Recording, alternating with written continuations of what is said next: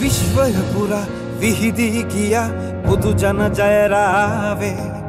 අපි වෙනුවෙන් අපි අතරම නැගෙන බලාපොරොත්තුව මේ. ජනහදදිනූ මහින්ද නම් උතුම් සොයුර ඇසූරේ. ගුණදම්පිරූ අභිමන්දරු කෝටාබය නාමේ සාර්ථක දැක්මක් වැඩ කරන රටක් යන තේමාවෙන් ශ්‍රී ලංකා පොදුජන පෙරමුණේ ජනාධිපති අපේක්ෂක ගෝඨාභය රාජපක්ෂ මහතාගේ ජය තහවුරු කරන ජනහමු මාලාවේ තවත් ජනහමුවක් නුවරඑළිය නගර මධ්‍යයේදී පැවැත්වුණා. විපක්ෂ නායක මහින්ද රාජපක්ෂ මහතා හා මහජන නියෝජිතින් රැසක් ඊට එක්ව සිටියා. කොළඹ නගරේ ජීවත් වෙන අඩු ආදායම් පැල්පත් වාසීන් කියලා හඳුන්වන ඉතා වටිනා නිවසක් අපි ඒකක විසිදාහක්කට ආසන්න සංඛ්‍යාවක් හැදවා. වැන් සමහරේවා බෙදුවේ මේ රජයෙන් නොත් මම තමයි ඒ නිවාස හැදුවි. මම දන්නවා කොපමන අමාරුද රජය සේවකයකුට මධ්‍යම පන්තිේ ජීවිතය ආරම්භ කරන පුද්ගලයකුට නිවසක් හදාකන්න තියෙන අපහසුතාවේ. නිසා අපි ඒ වෙනුවෙන් සාකච්ඡා කල්ල තියෙනවා ඒ සමාගම් සමග කොහොමද මාසිකව පහසු මුදලක් ගෙවල පහසු මිලකට කොහොමද නිවසක් ලබා දෙන්නකින්. අපි මේ සෑම අංශයකටම නිවසක් ලබා දෙන්නට වැඩපිළිවෙලක් අපේ මේ ප්‍රතිපත්ති මාලාව තුළ ඉදිරිපත් කළ තියෙනවා.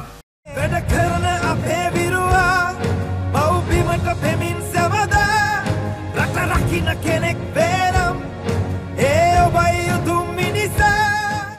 මේ අතර ගෝඨාභය රාජපක්ෂ මහතාගේ ජය තහවුරු කරන තවත් ජනහමුවක් හෙට්ටිපොළදී පැවැත්වුණා. ශ්‍රී ලංකා නිදහස් පක්ෂයයි ඒ සංවිධාන කර තිබුණේ. නිදහස් පක්ෂ මහලේකම් දෑසිරි ජයසේකර හා එම පක්ෂයේ වැඩබලන සභාපති මහාචාර්ය රෝහණ ලක්ෂ්මන් පියදාස යන මහත්වරුන් ඇතුළු පිරිසක් ඊට එක්ව සිටියා.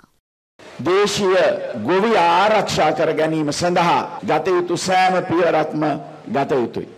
ඒවගේමයි අපනයන බෝග කර්මාන්ත අරුවන් සියලු දෙනාම අපහසුතාවයකට පත් වෙලා තියෙනවා. අපි මේ දේශීය වැඩිලිකරුවා ආරක්ෂා කර ගැනීමට ඉදිරියේදී පියවර ගන්නවා.